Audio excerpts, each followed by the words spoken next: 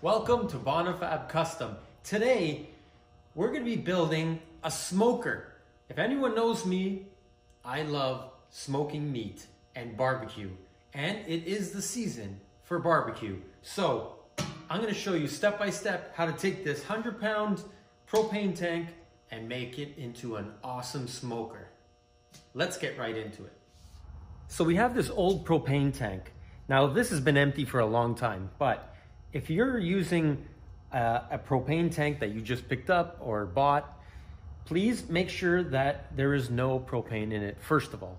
Secondly, we're gonna open up the top part of this valve. We're gonna unscrew it and do this outside in the open air. Don't do it in a, in a closed garage or something. We'll open that up, make sure there's no air, no propane in there, and then we'll take off the main body. We'll unscrew that. And after we do that, we're gonna fill it up with water. And what that's gonna do is gonna force any propane that's inside there or vapors out. And then we'll make our first cut to make sure there's nothing in there. But we'll do it with it filled with water. So let's get this valve off and start filling with water.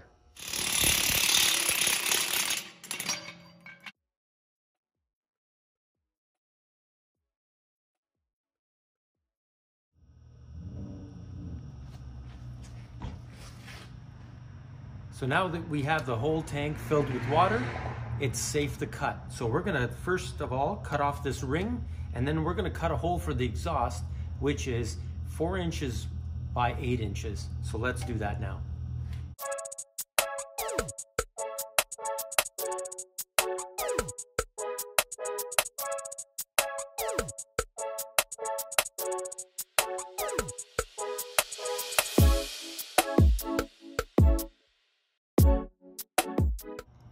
Now the exhaust hole is done, let's dump the water out.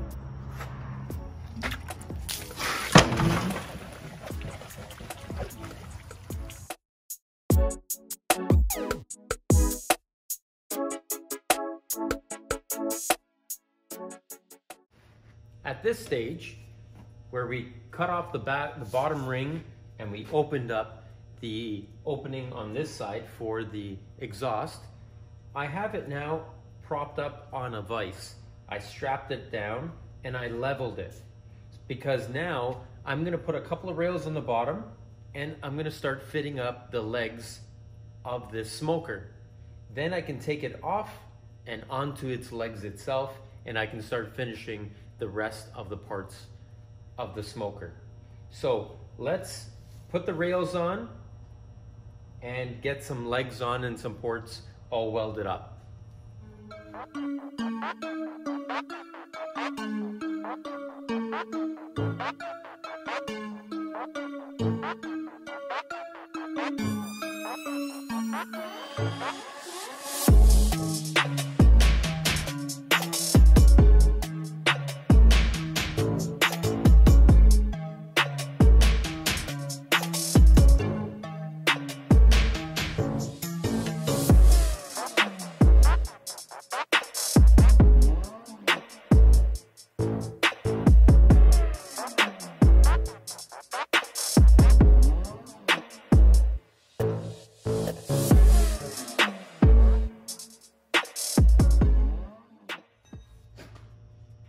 Now we have our legs welded all up.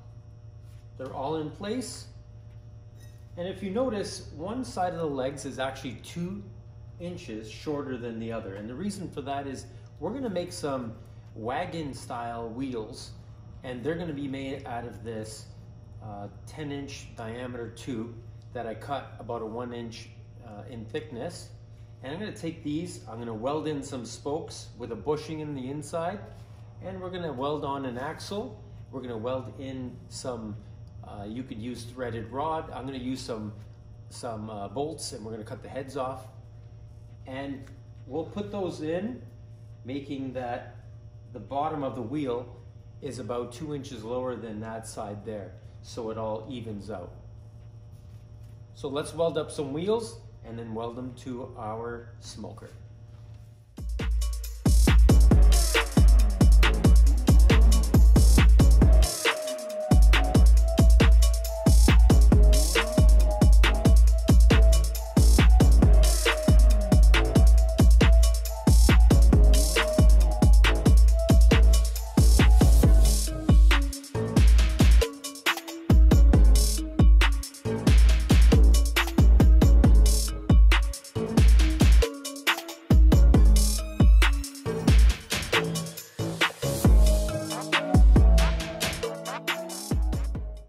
The wheels all welded up.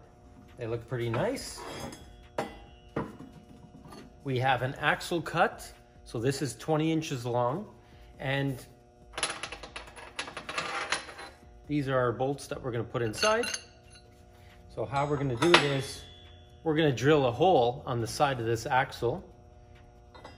And I'm gonna weld the axle onto the frame. Once it's on there, I'm gonna put the bolt through and that hole is gonna expose the side of the bolt. And because of that, I can weld it. So I'm gonna give that a weld and then those wheels would be fixed inside and they roll pretty good. Okay, so let's drill a hole inside the axle and then weld the axle on and start welding these bolts on to the smoker with the wheels.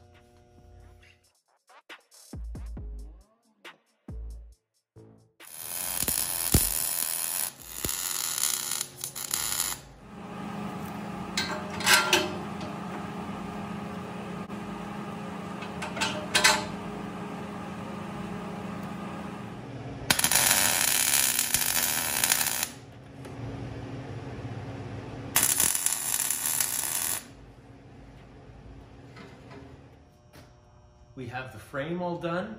We have our wheels on. Now we're gonna put some expanded metal, metal on the bottom, like a shelf. And then we're gonna work on the front part. So we're gonna put a handle here so we can roll it around easier. And then we're gonna start building our chimney or our stack.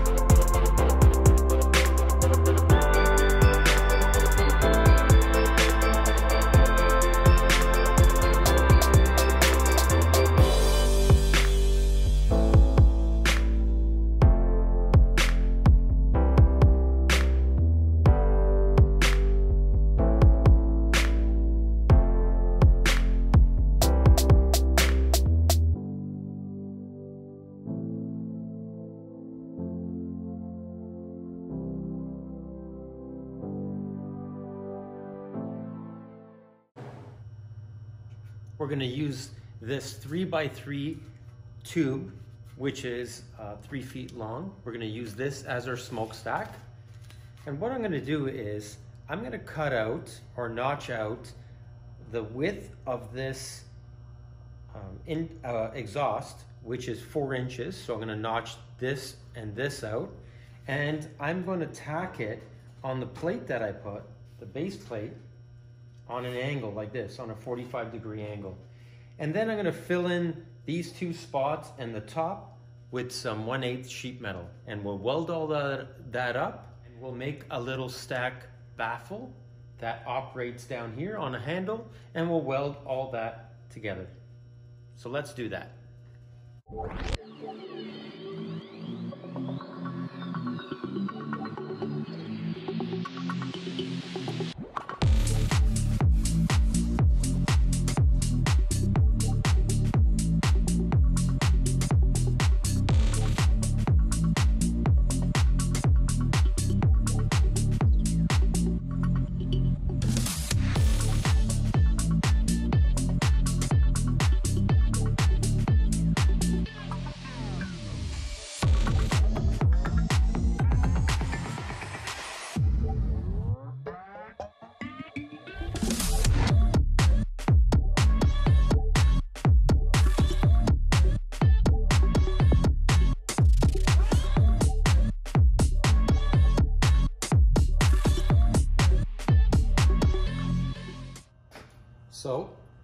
Some 1 8 sheet metal, I cut out this 3 by 3 piece. That's going to be the shutoff for my stack or the baffle. And I made this little arm that has a 90 on the top and on the bottom. This will be my handle for turning it on and off. And I made some bushings out of some tubing. And I'm going to weld this just on there, weld it so I can open and close the baffle.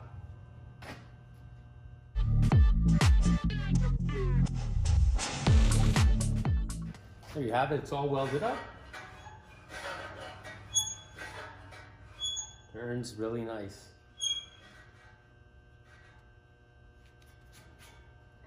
Next part, we're gonna open up the door and we're gonna make the cutout for the actual firebox and then we're gonna build the firebox and attach it. So let's start with opening the door. So now we're gonna open up the door of the smoker. And I like to use masking tape to line myself up and to draw out where the door location is. And the reason I do that is because the masking tape can be stretched over uh, different contours. So it works well for me. So after we do that, we're gonna wanna cut open the door. And I used to use a plasma cutter to do this, but these tanks, because they're painted, unless they're really stripped of paint, they, they smoke a lot, especially with the plasma. And then I don't like to use a grinder because it causes too much dust. So I like to use these double bladed uh, cutters. It's like a grinder with this double blade. And the double blade actually makes it um, not wander too much as I'm cutting. It looks dangerous, but it actually doesn't move around, around a lot. Even a grinder on a normal grinding wheel tends to want to uh, kick back if you get it jammed. This type of grinder actually doesn't, and it's worked very well for me. It doesn't cause smoke and it cuts into 3 16ths like butter. So now we'll take this and start cutting into our tank.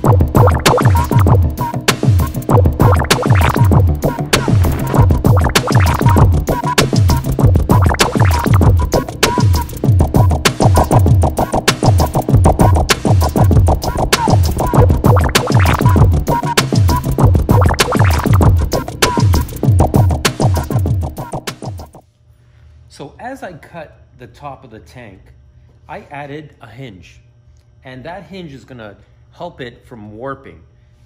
And I'll cut the whole top and then I'll add another hinge. As I have these two hinges welded in, then I can cut the two sides and then the bottom. And this tends to work out very well for me. It doesn't um, warp the door too much, so it keeps it in place. And then the, the hinges are done, the door opens and closes. Then we're gonna take it and we're gonna start grinding some of the paint off because we're gonna put the metal the metal seals all the way around the door and then we're gonna put a little handle for the door itself and then we're done with the actual tank itself. Now that we have the smoker all ground where the door is, we're gonna put trim around the door and the trim is gonna help seal off to keep the smoke in. And we use this 1 8 by inch and a quarter uh, flat bar, or you can have it sheared inch and a quarter, uh, 1 8. And we're gonna start off first with doing the bottom piece of the trim here, or the seal. And we're gonna tack that in place. And this will help it line up the rest of uh, the rest of the trim that we put on because now that the bottom would be on, it would sit in the right position and then we can put the rest in, in there. So let's start welding all the trim on and then we'll weld on a little handle also.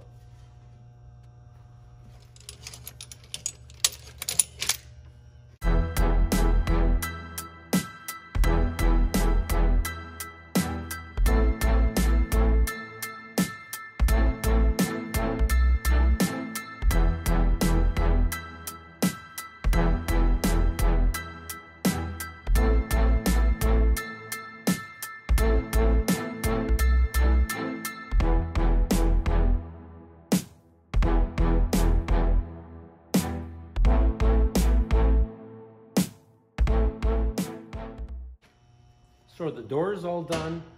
The seal fits nice. After we weld up the whole thing, we're gonna take this seal and we'll hammer it down and make sure it seals real nice against the, the main body. But hinges work good, nice handle. Next thing I like to do is do the rack um, frame on the inside of the tank. So we're gonna weld up some uh, bar on the inside as support. We'll weld that all along and finish that off. And then we'll be, um, then it'll be time for us to start cutting the cutout for the firebox.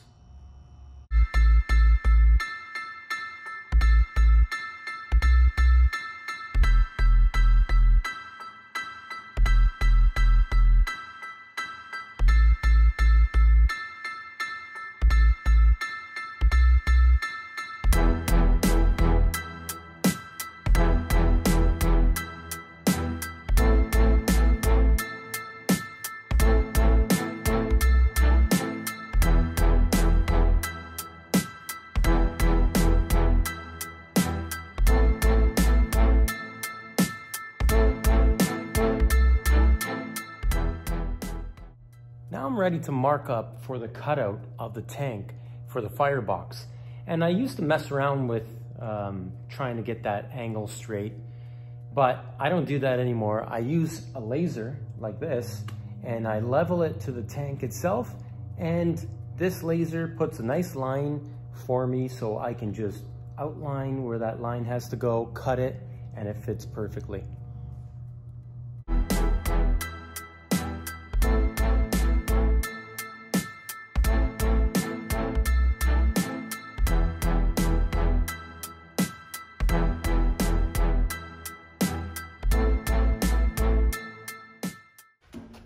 Now we have our firebox opening all cut out.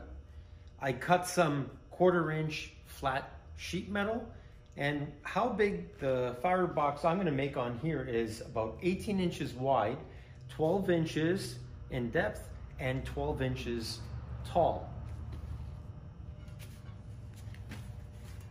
And I'm gonna start off first with the back plate and the back plate, I'm gonna put a four inch cutout or a hole. I'm gonna use my plasma cutter to cut this out. And then I'm gonna weld a four inch inner diameter tube on that hole. And that's gonna be kind of like my chimney that's gonna go inside the smoker itself. So let's cut that out and then start welding the firebox all together.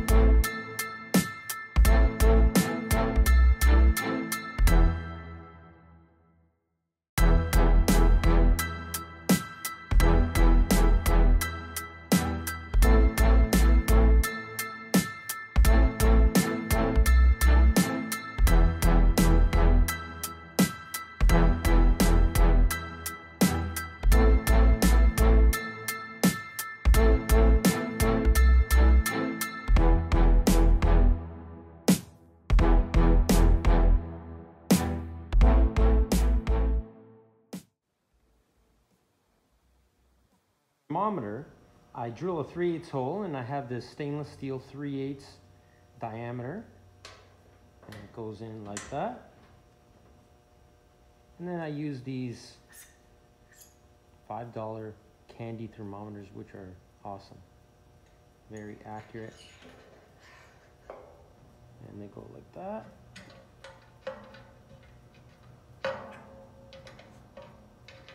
That's perfect. Just gonna weld that from the inside.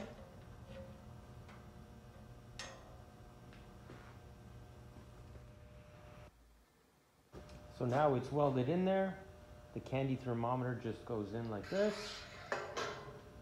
Lift it up.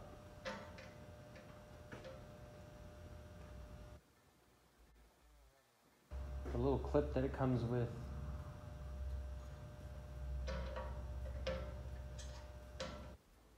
On like this. And, and it just stays just like that. Perfect.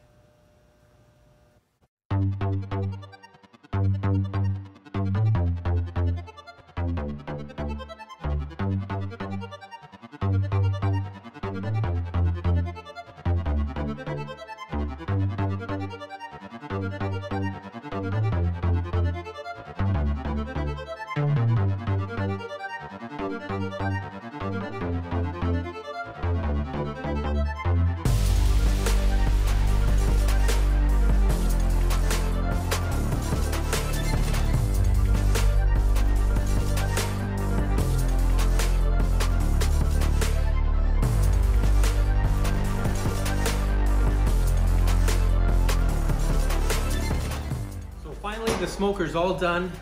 It's been a long two days. I'm gonna sand this thing down and then give it a painting with some high temp paint and then I'll start up the fire and burn off whatever's inside there and then it'll be ready for smoking.